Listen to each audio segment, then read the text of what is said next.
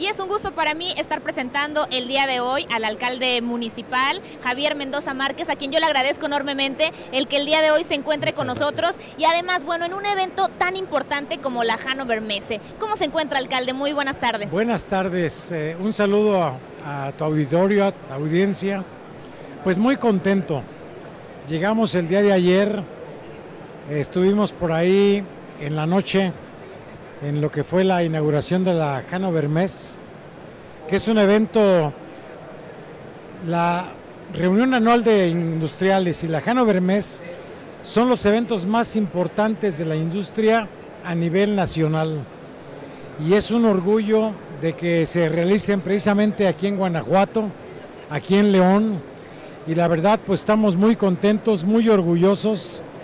Y pues estamos en el tema básicamente de la mentefactura.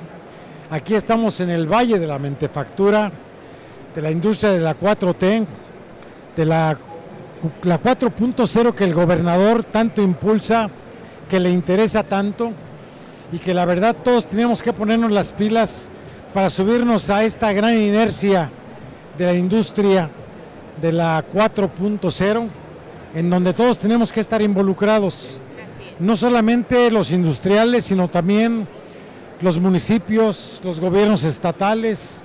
Hoy se tuvo la presencia como invitado especial del gobernador de Nuevo León, Samuel García, estuvo aquí con el gobernador de Guanajuato, Diego Sinué Rodríguez Vallejo. Y la verdad, pues todos tenemos que subirnos a esta gran ola de la mentefactura.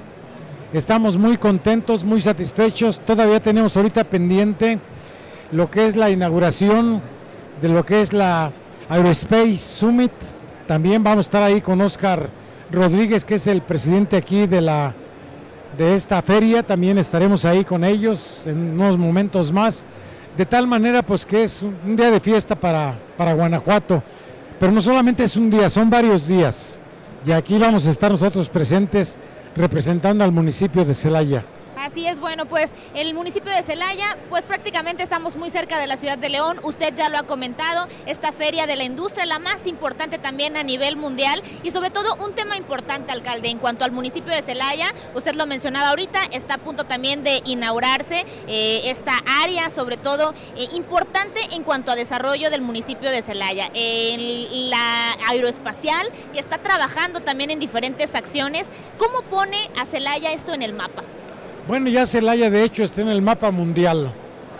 Eh, somos como municipio, somos el centro, el centro de este gran ecosistema de la industria aeroespacial. Somos el municipio que tiene las empresas que más exportan en Guanajuato en esta industria aeroespacial. Se están fabricando en Celaya los primeros aviones con tecnología 100% mexicana de la empresa Horizon Tech. Eh, son los Halcón 2 que se están fabricando en Celaya. Ya tienen más de 10 pedidos de aviones. Tenemos seis cartas de intención de empresas que se quieren colocar ya en Celaya, de tal manera que nos coloca a nivel mundial pues en este epicentro del desarrollo tecnológico orgullo le da usted que es pues el alcalde del municipio el tener esta oportunidad que se está realizando en cuanto a empleos, pero sobre todo como dice, en cuanto a esta infraestructura en la cual también estamos trabajando.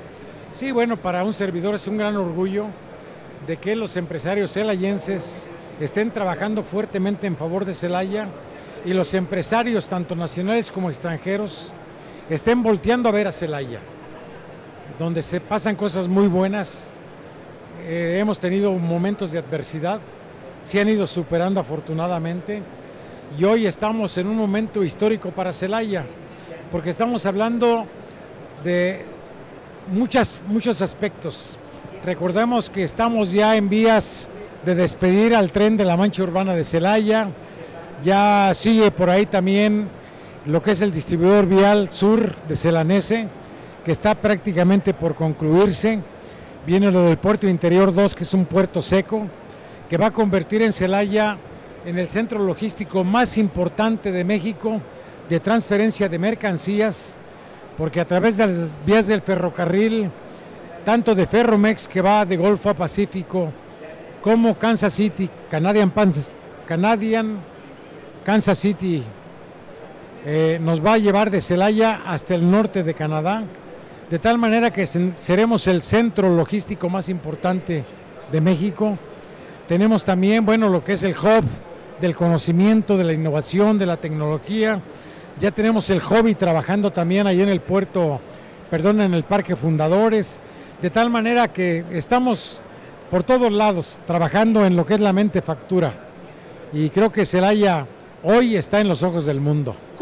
Si hablamos acerca de este hub de la competitividad, es un espacio y será un espacio también importante, sobre todo para las nuevas generaciones. Para los emprendedores, efectivamente. Así es. ¿De qué manera se estarán desarrollando estas acciones para estar trabajando de manera en colaboración con los emprendedores? Ya en desarrollo económico del municipio, que Lalo Nap es el director, tenemos varios programas de apoyo a los emprendedores los estamos acompañando, no solamente los estamos apoyando con programas, con recursos, sino que los estamos acompañando para que realmente sus ideas y sus ideales se conviertan en bellas realidades. Finalmente, alcalde, lo vimos ahorita, estaba pasando por los pasillos. ¿Qué es lo que más le ha llamado la atención?